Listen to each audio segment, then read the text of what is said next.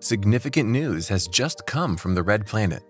The Mars Global Surveyor satellite has recently conducted a new orbital study that provides the best proof to date that Mars once had liquid water, possibly even a geothermal core that is functioning. A worldwide team of academics fed data into a new computer model created to simulate Martian ice flow using the topographical mapping tools of the satellite. And it produced some initially really intriguing outcomes. So, what are the outcomes? Welcome to our channel, guys. In today's video, we'll discuss NASA's new discovery on Mars. Before that, do subscribe to our channel if you haven't already. We must go back to 2018 when the Mars Express orbiter discovered that the southern ice cap receded and rose with the seasons. It was hypothesized at the time that this movement was caused by liquid water similar to our own ice caps. But many scientists were dubious about the need for geothermal heat to liquefy water beneath a substantial sheet of ice. Furthermore, nobody was aware of Mars's geothermal activity.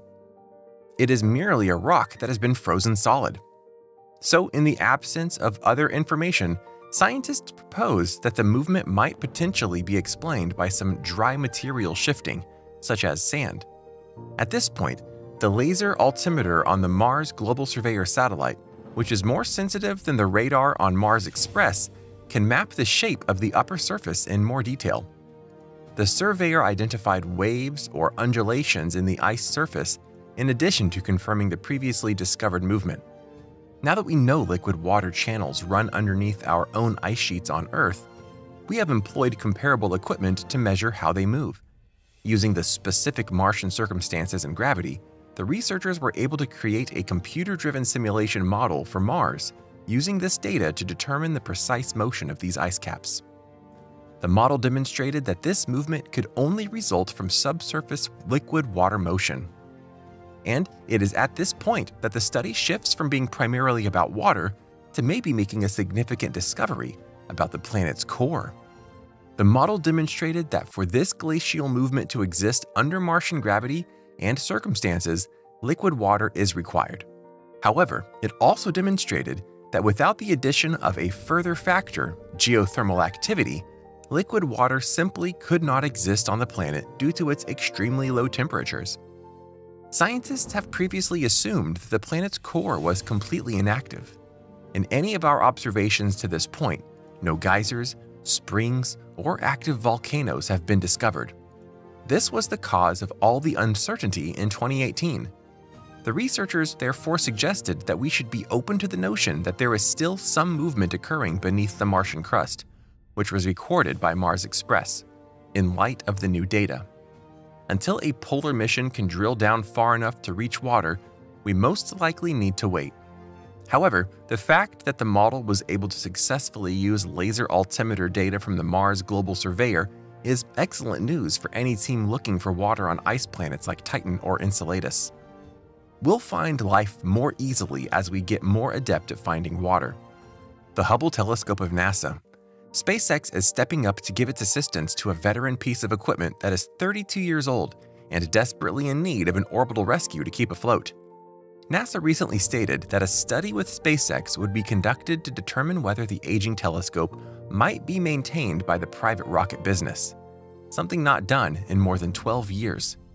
Hubble was meant to be maintained and enhanced using the same space shuttles that launched it in 1990. Evidently, it hasn't occurred since the program was terminated in 2011. However, the telescope's most recent service visit was in 2009. Since that time, the telescope has been progressively losing altitude and deteriorating. However, Hubble has long been the workhorse of NASA's astronomical observation operations. Even the James Webb Space Telescope's launch serves to emphasize the crucial significance. The incredibly detailed photos are still available from Hubble. The targets provided by Hubble's wide field camera are the only reason the James Webb gives us the astonishing images that it does. Otherwise, the Webb would take an eternity to locate the appropriate area to focus on, and perhaps that elevated significance in the face of a deorbiting. The proposal from SpaceX to NASA a few months ago was specifically motivated by Hubble. They came up with the concept of conducting a study to determine whether a commercial crew might lift Hubble back up to its operational orbit and provide it with much needed maintenance. In accord, NASA ratified the study's Space Act agreement. The technical aspect of the proposal will be the main focus of the six month study. Specifically, the SpaceX Polaris team is stepping in to see if a Dragon capsule might even be able to perform the work. A variety of industrial and commercial operations makes up the Polaris mission. A commercial crew will travel on the inaugural mission of Polaris Dawn, scheduled to launch no later than March 2023 to the highest Earth orbit ever attained. Also, conduct a spacewalk, since servicing Hubble will require major modifications to the Dragon capsule and the shuttles. This is probably the main reason SpaceX is enlisting Polaris. It had a cargo bay and an armature that was used to secure the telescope while it was in use. Up there, it resembled having a floating garage. Dragon is a crew capsule that is functionally identical to the previous Apollo capsules. For Polaris Dawn, the Dragon must, however, already undergo some modifications to enable a spacewalk. So the best people to discuss are definitely the Polaris crew, the modifications that a Dragon could undergo and still function properly. In addition, there are some unfinished plans for the second Polaris mission, or, if it is, we don't know anything about it. We are aware that the general purpose of Polaris missions is to advance technology.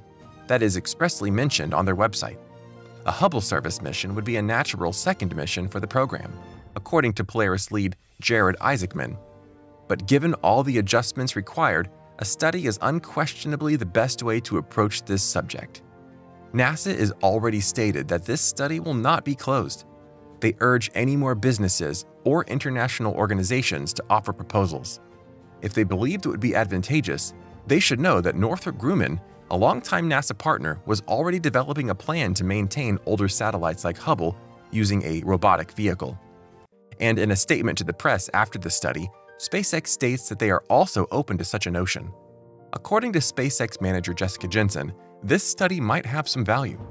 The entire world has benefited from Hubble as a valuable instrument, and the study significantly increased the duration of its operation. It's challenging to think of a topic that would better highlight collaboration between private and public sector organizations, considering how crucial it is for future monitoring missions. NASA's $330 million DART mission came to an end on September 26th when its satellite purposefully collided with an asteroid. That was the mission's goal. Last November, the double asteroid redirection test was launched at a sizable asteroid, Didymos. To orbit the rock and crash into Dimorphos was the idea. And even though you might think that spending $330 million on this endeavor is a tremendous waste, the DART mission's accomplishment marks the first time humanity has demonstrated that we are capable of protecting ourselves from incoming asteroids. There are numerous organizations on Earth keeping an eye on the skies for stray objects. What then do we do when that occurs? There are other possibilities, including the use of lasers to destroy it, or the use of a lucky crew of oil drillers, or a gravity tug appears to work, but none of them is as simple to test as simply hitting the rock with something heavy. That straightforward strategy carried out sufficiently enough from Earth may easily deflect an approaching planet killer. DART was developed by NASA and its partners to demonstrate that a straightforward kinetic impact would be sufficient.